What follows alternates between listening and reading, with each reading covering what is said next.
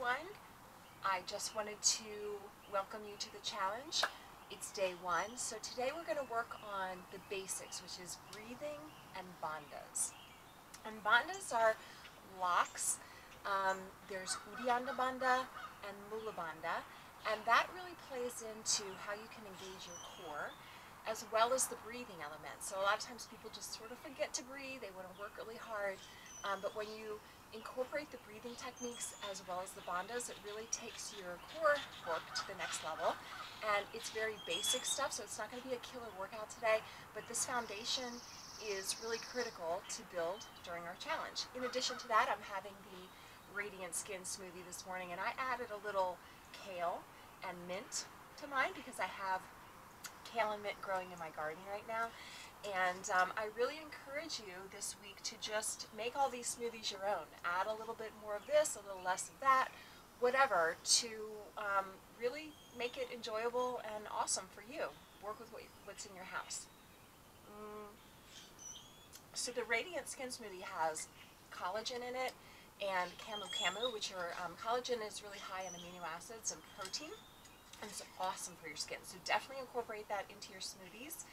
And um, the Camu Camu is really high in vitamin C, which is, of course, awesome for your skin. And of course, like I said, I added the kale and the mint, which is gave it a little green tinge, awesome vitamins and minerals.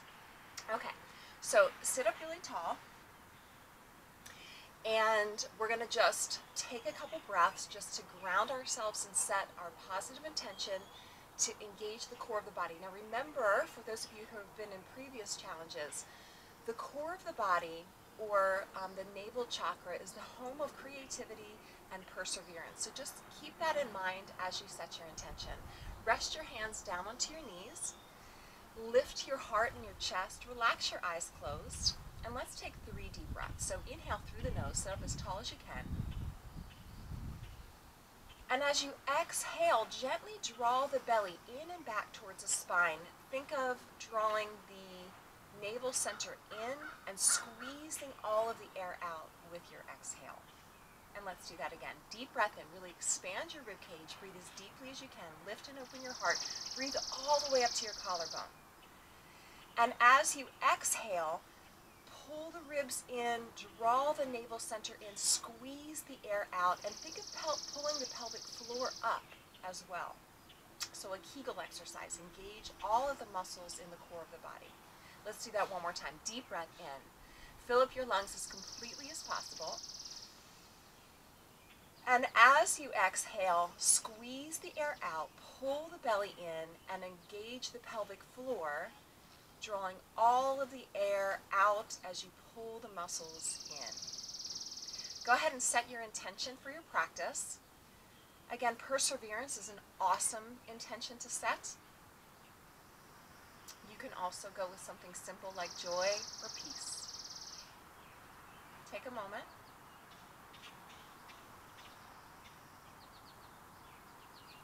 And then go ahead and open your eyes. Okay, beautiful. Go ahead and lie down on your back. So lying down on your back, I want you to rest your hands onto your stomach and keep your knees bent, by the way, feet flat for now. Rest your hands onto your belly. Now I want you to grab onto your hip bones, or just take your index and middle finger and just touch your hip bones. And now in about an inch from your hip bones, walking towards the belly button or towards the midline, press down. now if you clear your throat like I just did, or sneeze or cough, you're going to feel those muscles fire. That's your transversus abdominis, okay, deepest muscles in your abdominal wall. So you feel those muscles. So again, just clear your throat, throat practice. No one's listening, right? Just go ahead and, engage those muscles. All right, you feel it. Now walk your toes together, walk your knees together, squeeze your knees and your inner thighs and engage those muscles again. And really feel them engage under your fingers. Okay, you got it? All right, so from there, rest your hands down onto your rib cage. Take a deep breath in through your belly. Just relax those muscles for a second, by the way. Relax. Take a deep breath. And as you exhale, squeeze your inner thighs, squeeze your knees together, squeeze your ankles together, press your low back flat into the mat, engage those muscles, flattening the abdominal wall. Okay? Let's do it again. So relax the muscles, relax your knees, breathe in, exhale, engage everything, squeeze everything, press your low back down, and pull the belly in, flattening the abdominal wall. Let's do it one more time. So deep breath in, relax everything, breathing deep. Exhale, squeeze to the midline, press your low back flat into the mat, and pull your belly in. Good.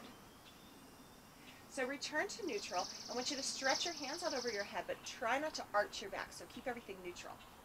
As you exhale, you're going to flex your head, neck, and shoulders up, but I want you to really squeeze the inner thighs at the same time. Now reach your fingertips as far forward as you can, but keeping your low back down. Okay, we're going to roll out of that, so I want you to reach over your head, keep those abdominal wall, um, abdominal muscles engaging, flat back, exhale, roll up, and reach through your fingertips.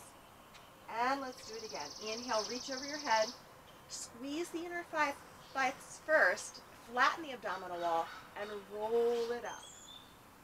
Let's do it two more times just like that. Inhale, reach over your head. Squeeze the inner thighs, flatten the abdominal wall, engage that transversus abdominis and reach forward. This is your last one. Inhale, reach over your head, just really gentle. Exhale, squeeze the inner thighs, flatten the abdominal wall, and reach forward. And we're going to hold here for three breaths. So I want you to really reach through your fingertips. Keep your chin gently towards your chest. And by the way, top of the tongue towards the roof of your mouth will keep the neck relaxed. Now grab onto your inner thighs and sit yourself all the way up. That might be really tough, but use the, the hands behind the thighs to help yourself up. Okay? We're going to roll behind the tailbone again.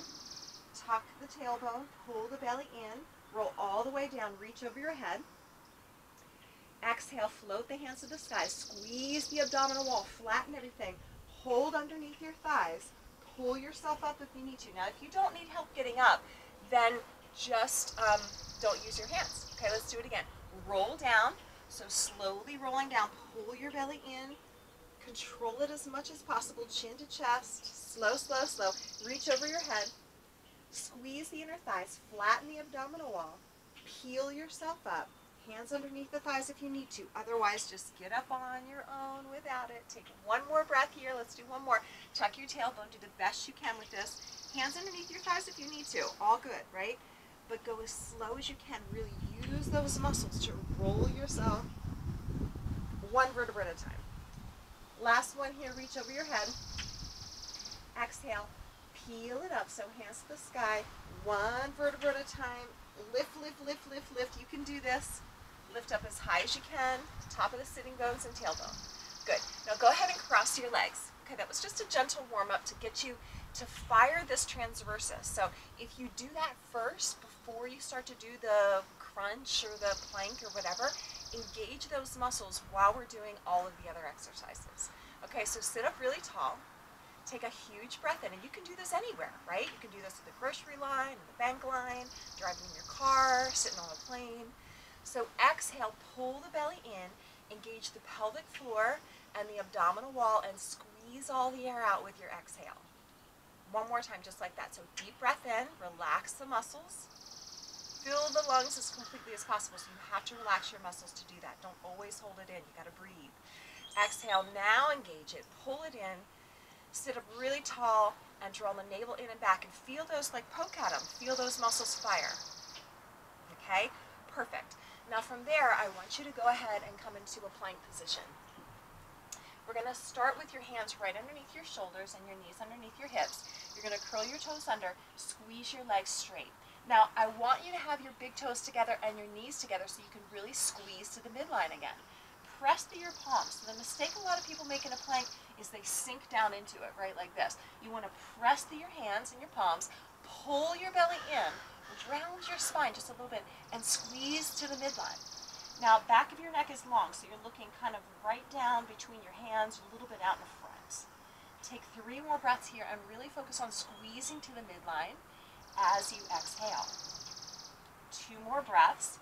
If you're feeling a little shaky and you want to take a little weight off, it's always fine to modify by bending the knees, right? One more breath, really squeeze to the midline, engage your belly by pulling it in and up. And then we're going to release the knees and sit back to child's pose for just a second. Just rest back. Now we're going to modify it a little bit. So I want you to shift forward again, curl your toes, lift your knees so you're straight, and then just bring your right knee to your right tricep. Now we're going to hold it here. And listen, the higher you bring that knee up to your armpit, the more you'll feel your core. Now really engage those muscles. Take one more breath and relax back to child's pose. So rest it back.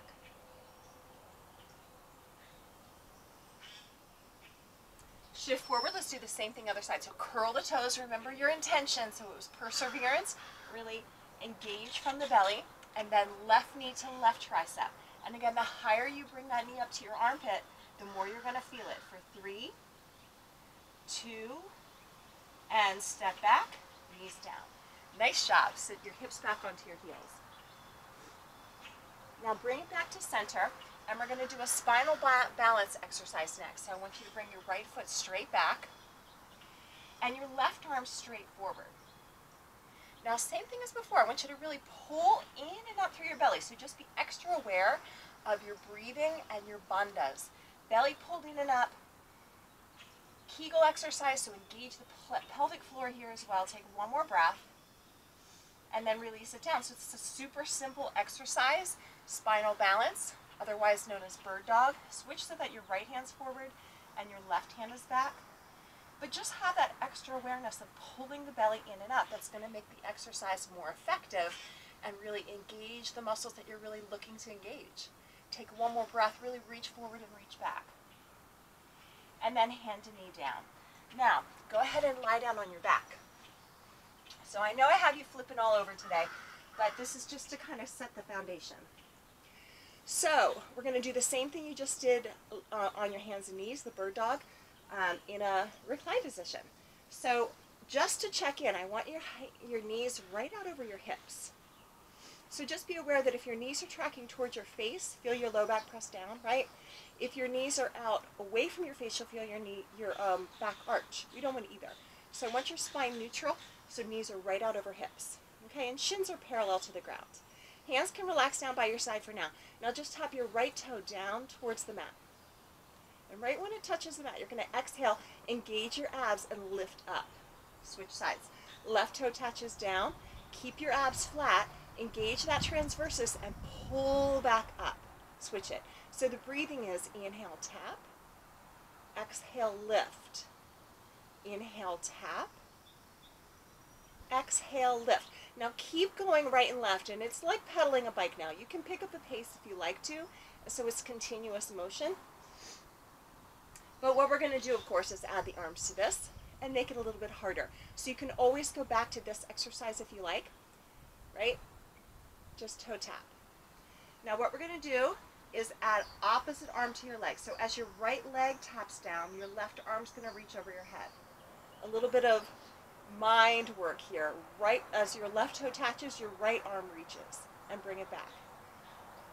Right toe, left arm, left toe, right arm. Now, if this is feeling okay for you and your back is not an issue, you can straighten your leg as you reach over your head. So right leg straighten, left arm over your head, and then left leg straightens, right arm over your head. Okay, keep reaching and pedaling, reaching with your arms and pedaling with your legs. Couple more. Keep breathing and engaging the abdominal wall for four, three, two, and one. Now pull your knees to your chest and just relax. Nice job. Flip over onto your hands and knees into child's pose. So go ahead and flip yourself over. Again, keeping it really basic here today. We're going to finish off with a half sun salutation a few rounds just to get the abdominal wall stretched out and the body loosened up. So relax your forehead. Go ahead and make your way into downward facing dog. Curl your toes, press yourself back, stretch it out. Reset your intention. So take a couple breaths just to reset that intention of perseverance or joy or whatever it is that you really want to work towards today. Inhale, draw to plank pose, right into the top of a push-up. Having some hoodie issues here. Now in your plank, what are you going to do? You're going to pull your belly in and scoop the tailbone under a little bit. Bend your elbows lower down. Inhale into your cobra. Get a good stretch through your abs. So we're creating not only strong, but also flexible core. Exhale, push back, downward facing dog. Do it again. Inhale to plank. Exhale, bend your elbows, lower down. Inhale into your cobra. Exhale into your downward facing dog. And let's do that one more time. So be aware of breath and bandhas as we move through. Inhale, plank. Squeeze to the midline. Exhale, bend your elbows, lower down. Inhale into your cobra, back bend. And exhale, downward facing dog. And breathe in and out through your nose.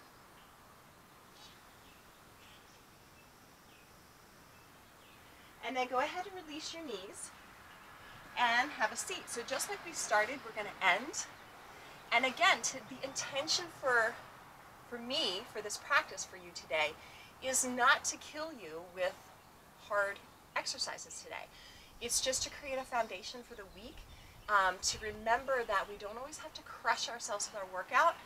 Just being aware of how you can engage the abdominal wall at any time can really be beneficial. And remember, it's activating the abdominal wall before you do the exercises, maintaining a neutral spine, and breathing.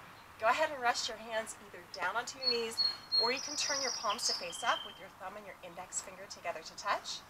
Relax your eyes closed. Bring awareness to your breath and back to your bandhas. So, Mula Bandha, you want to pull the pelvic floor up, squeeze in, and draw the navel center in and back for Uddiyana Bandha.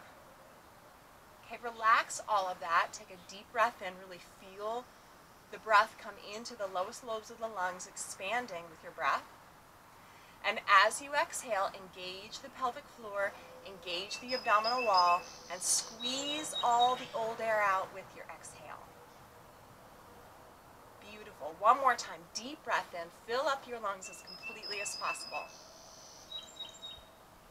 And exhale, pull the belly in, engage the pelvic floor, and squeeze all the old air out. Nice job, you guys. Bring your hands together at heart center. Sit up as tall as you can. Open and lift your heart. Reset your intention. Bow your chin to your chest. Take a huge breath in as you reach your hands out and up to the sky. Gather your energy and strength for the day. And exhale, draw it in and back to your heart center awesome work. Enjoy your smoothie. So again, whichever one you're choosing, feel free to be creative with it. A little more of this, a little less of that. It's all good. Make it work for you and have an awesome day. Namaste.